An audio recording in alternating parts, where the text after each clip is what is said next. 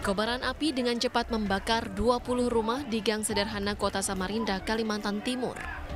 Seluruh bangunan rumah hangus dilahap si jago merah dan membuat warga panik dan berupaya memadamkan api dengan alat seadanya. Petugas pemadam kebakaran yang tiba di lokasi langsung berupaya memadamkan api.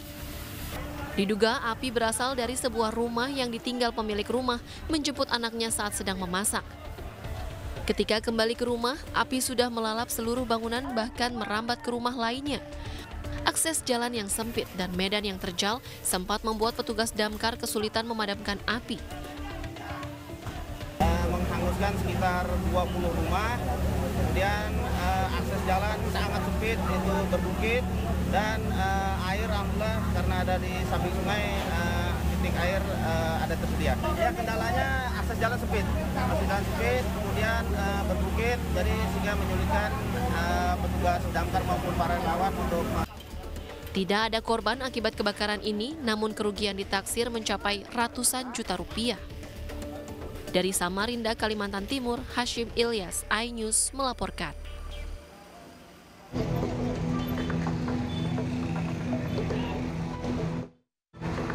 Sebuah toko yang sekaligus dijadikan gudang sembako di Jalan Poros Pantura Lamongan ludes terbakar. Kobaran api melumat seluruh bagian bangunan beserta seluruh isi toko. Banyaknya bahan mudah terbakar membuat kobaran api membesar.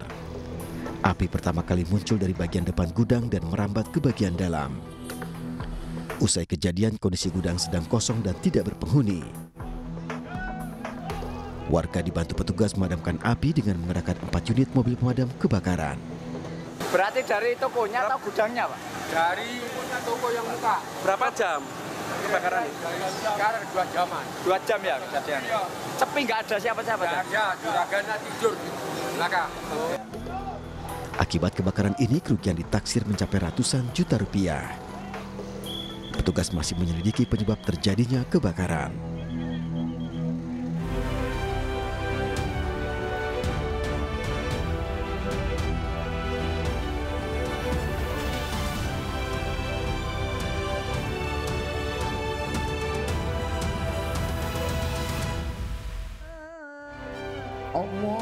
Presiden Joko Widodo beserta Ibu Iriana hari ini melaksanakan sholat id di halaman Gedung Agung, Yogyakarta.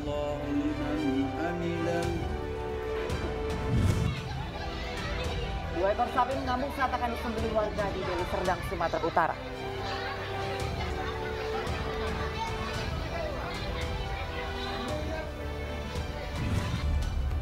Jamaah haji asal Indonesia terlantar di Musdalifah.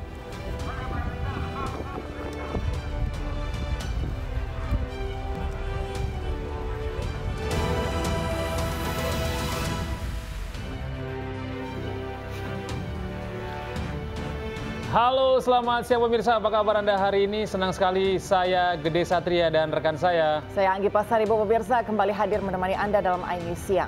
Selain tiga berita utama tadi, iNews Siang juga akan menyuguhkan beragam informasi penting lainnya.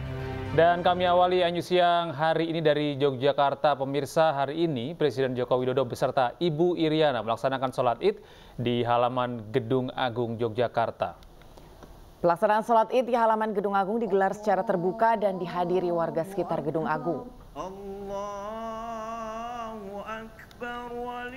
Pelaksanaan salat di gedung salat id maksud kami di Gedung Agung digelar pagi tadi dan dihadiri oleh sejumlah pejabat dan keluarga Presiden Joko Widodo. Salat id di Gedung Agung dipimpin oleh Imam Jauhar Mustafa sekaligus mengisi ceramah. Dengan penuh kekusyukan, warga bersama Presiden dan pejabat lainnya melaksanakan salat id hingga selesai. Antusiasme warga terlihat usai pelaksanaan salat id untuk dapat berfoto bersama dengan Presiden Joko Widodo.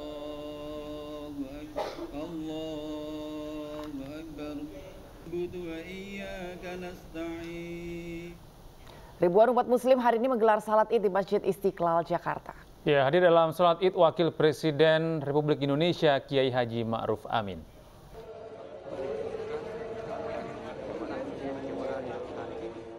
Umat muslim dari berbagai wilayah di Jakarta dan sekitarnya Kamis pagi memadati Masjid Istiqlal Jakarta.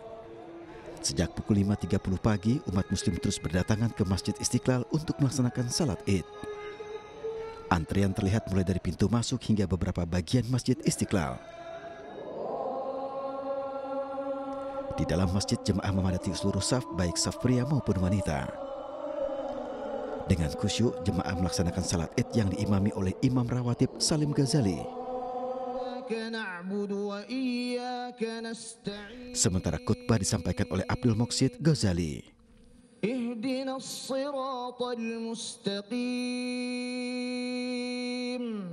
Dan kekhawatiran Umar ibnul Khattab menunjukkan bahwa tanggung jawab negara cukup besar dalam hal memberikan pelayanan kepada warga negara, termasuk warga negara difabel.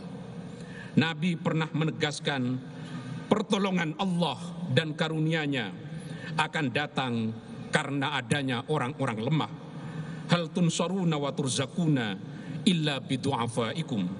Allahu Akbar, Allahu Akbar, Allahu Akbar, Allahu Akbar walillahil hamd. Pada kesempatan pelaksanaan salat id di Masjid Istiqlal, Wakil Presiden Ma'ruf Amin menyerahkan hewan kurban sapi kepada pengelola Masjid Istiqlal. Alhamdulillah, hari ini kita memasuki hari raya Aidil Adha atau Aidil Kurban. Dan kita diberikan oleh Allah Subhanahu wa taala keadaan yang alhamdulillah baik, pandemi sudah tidak ada, ya sudah dicabut. Dalam suasana ini berarti hari raya kita ini hari raya yang menggembirakan dan juga ekonomi kita bagus. Ya, oleh karena itu kita harapkan juga sesuai dengan pentingnya hari ini yang disebut sebagai hari raya kurban, saya mengajak semua masyarakat yang mampu, yang punya kelebihan, jangan sampai tidak berkorban. Pihak Masjid Istiqlal baru akan melangsungkan pemotongan hewan kurban pada hari Sabtu 1 Juli 2023. Dari Jakarta, Nata Arman, Zulkarnain, iNews melaporkan. Pemirsa untuk melihat proses lebih lanjut terkait pemotongan hewan kurban di Masjid Istiqlal, kita terhubung dengan rekan kami Nata Arman. Selamat siang Nata Arman. Bagaimana situasi di Istiqlal saat ini? Apakah eh, hari ini akan ada pemotongan hewan kurban di sana? Ya, selamat siang Gede dan juga pemirsa dapat kami sampaikan terkait dengan pemotongan hewan kurban sendiri ini akan dilakukan pada hari Sabtu. Jadi bukan hari ini untuk pemotongan hewan kurban. Dan untuk jumlah total dari hewan uh, jenis sapi sendiri ada 43, kemudian untuk kambing ada 7 ekor. Dan di belakang saya ini terlihat jelas ada dua uh, jenis sapi limosin milik Presiden Joko Widodo dan juga Kiai Haji Maruf Amin. Nah, yang di depan saya ini yang palanya berwarna putih, ini milik Presiden Joko Widodo yang namanya adalah Robusta. Sedangkan untuk yang sebelah kiri ini bernama uh, Sadewo yang memiliki uh, ciri khas palanya uh, warna coklat, sedikit warna putih dan memang ini untuk bobot sendiri ini 1,1 ton, sedangkan yang uh, Robusta atau milik Presiden Joko Widodo memiliki bobot sebesar 1,2 ton. Dan tadi pun banyaknya masyarakat yang antusias untuk melihat secara langsung karena memang terlihat jelas bobotnya yang kekar, kemudian tebal dan juga sehat begitu, itu membuat daya tarik dari, dari masyarakat sendiri untuk bersuah foto di depan uh, kedua sapi milik presiden ini. Dan juga untuk makanannya sendiri ini uh, diberikan makanan khusus seperti ampas singkong, kemudian ada lagi ini uh, rumput gajah dan juga ditambah lagi konsentrat untuk menambah gizi dari uh, sapi yang akan dipotong pada hari uh, Sabtu mendatang. Apabila kita lihat ini posturnya yang sangat besar ini nampaknya sangat lezat apabila kita jadikan sebagai masakan rendang ataupun semur daging, terutama pada hari raya Idul Adha pada kali ini. Dan pelaksanaan hari raya Idul Adha pada hari ini berjalan dengan uh, mulus, dengan lancar dan dimulai pada pukul 7 pagi tadi. Dan untuk sistem pengamanan sendiri, ribuan aparat TNI Polri berjaga untuk mengamankan situasi berjalannya ibadah berlangsung.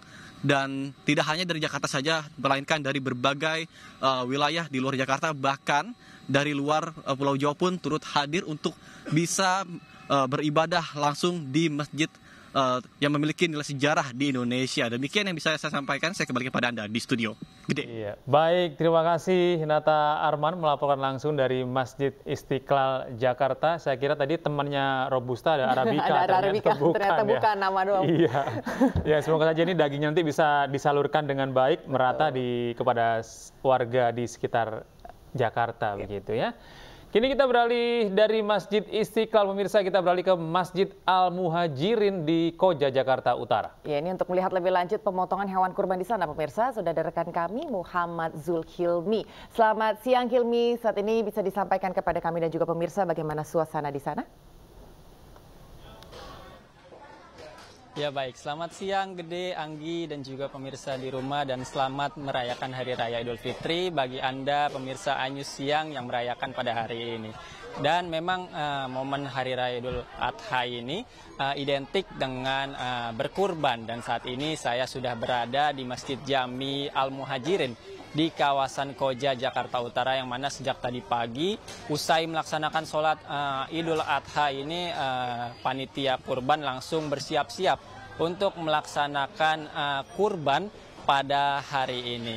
Dan uh, di Masjid Jami Al Muhajirin Koja Jakarta Utara ini terdapat 11 ekor sapi dan juga 30 ekor kambing yang uh, dikurbankan oleh uh, masyarakat sekitar di uh, Masjid Al Muhajirin Koja Jakarta Utara ini. Dan uh, seperti apa pelaksanaan kurban pada tahun ini di Masjid Jami Al Muhajirin saat ini saya sudah bersama dengan Ustadz Bahrul Ulum, Ketua Panitia Kurban Masjid Jami Al Muhajirin Koja Jakarta Utara. Assalamualaikum Ustadz, apa kabar? Waalaikumsalam warahmatullahi wabarakatuh. Alhamdulillah kabar baik. Ya. Ustadz, mungkin bisa diceritakan bagaimana antusias uh, masyarakat dalam berkurban pada tahun ini?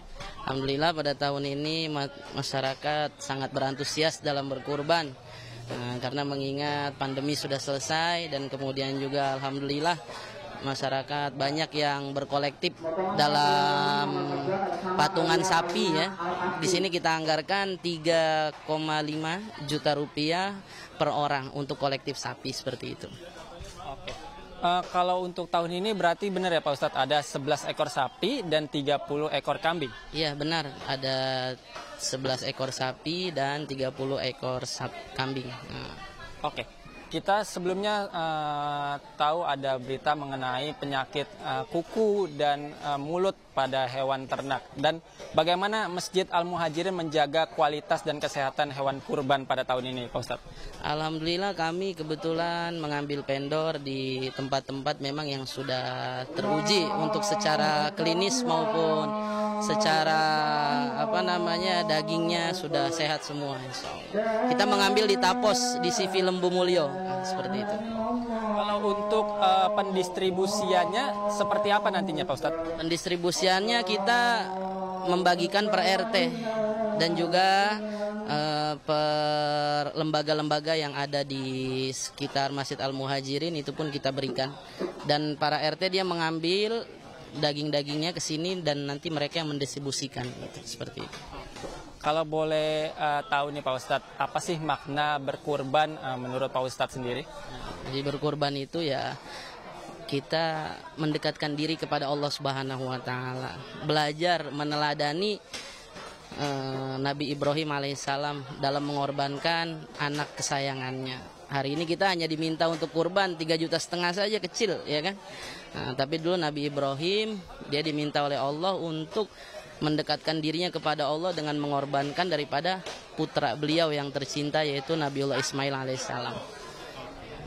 Terakhir mungkin Pak Ustadz uh, harapannya untuk uh, kurban pada tahun ini yang dilaksanakan oleh Masjid Al Muhajirin. Ya, harapannya masyarakat lebih uh, bersemangat lagi dalam berkurban. Karena dengan kita berkurban semakin banyak sapi yang kita terima, kambing yang kita terima, maka manfaat kepada masyarakat yang belum bisa merasakan daripada uh, daging misalnya mungkin ada yang sebulan sekali. Ada yang dia berapa kali makan dagingnya. Dengan adanya Idul Adha ini semoga mereka semua bisa merasakan. Sehingga ada keseimbangan di antara kaum muslimin. Seperti itu. Terima kasih banyak Pak Ustadz atas waktunya. Ya Gede, Anggi dan juga pemirsa memang seperti Pak Ustadz Bahrul Ulum tadi mengatakan bahwa momen Hari Raya Idul Adha ini bisa menjadi momen kebersamaan bagi antar umat beragama. Kembali ke studio. Baik, terima kasih Muhammad Zulhilmi atas laporan Anda langsung dari Masjid Al-Muhajirin di Koja, Jakarta Utara. Terima kasih. Assalamualaikum warahmatullahi wabarakatuh. Zulmi. Dan ini setiap tahun ini Anggi selalu ada yang Cerita. cerita, ada yang lucu dan juga aneh mungkin ya kalau setelah kurban ini terkait dengan eh, hewan kurban yang bisa melakukan hal yang kadang tidak tidak terduga. Perlawanan ya. Betul. Dan seperti yang satu ini pemirsa seekor sapi yang hendak dibawa ke masjid untuk dikurbankan kaget mendengar suara klakson mobil hingga kabur dan tercebur ke kali di Kalideres, Jakarta Barat. Eh, dan sementara itu ini Ya. buat Gede dan juga pemirsa di Bekasi diduga stres selama dalam perjalanan. Seekor sapi kurban juga kabur dan terjatuh di dalam saluran air sedalam 2 meter. Seekor sapi tercebur kali penghubung Semongol Kalideres, Jakarta Barat. Sapi seberat lebih dari setengah ton ini menjadi tontonan warga. Warga yang berada di lokasi tak mampu mengangkat sapi dari kali penghubung. Petugas pemadam kebakaran Kalideres, Jakarta Barat dikerahkan untuk mengevakuasi sapi dari kedalaman 2 meter. Dari keterangan petugas Damkar Jakarta Barat, sapi ini kabur dan terjun ke kali karena terkejut dengan bunyi klakson mobil yang melintas saat sapi itu hendak dibawa ke masjid untuk dikurbankan. Evakuasi sapi berhasil satu jam kemudian dengan bantuan warga sekitar.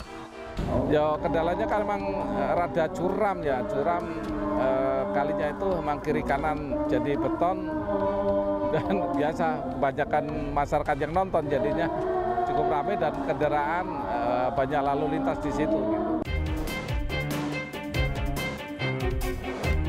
Di kota Bekasi, Jawa Barat, pemirsa seekor sapi terperosok saluran air di permukiman warga di Jalan Musola 2, Kelurahan Jatimurni, Kecamatan Pondok Melati. Sapi kurban dengan berat 300 kg lebih ini terperosok ke dalam saluran air saat panitia kurban Masjid Istiqomah hendak menurunkan sapi kurban dari atas truk. Sapi diduga stres karena lamanya perjalanan. Sapi mengamuk dan langsung terjatuh ke dalam saluran air. Petugas damkar kota Bekasi yang melakukan evakuasi mengalami kesulitan karena peralatan seperti tripod tidak mampu mengangkat sapi yang cukup berat. Selain itu, lokasi saluran air cukup sempit hingga proses evakuasi harus dilakukan dengan menggunakan crane. Pasca dievakuasi, sapi kurban dari Jawa Tengah ini lalu dibawa ke Masjid Istiqomah dalam kondisi lemas. Kendala eh, medannya ketinggiannya sekitar 2 meter terus dengan bobot 300 kilo Pak. Jadi informasi dari tadi si supir itu pada saat diturunkan dari truknya. Mungkin dia stres perjalanan jauh. Nah, akhirnya dia melarikan diri dan masuk ke parit atau ke gorong-gorong. Dari Jakarta dan Bekasi, Jawa Barat, Miftahul Gani, Rahmat Hidayat, iNews melaporkan.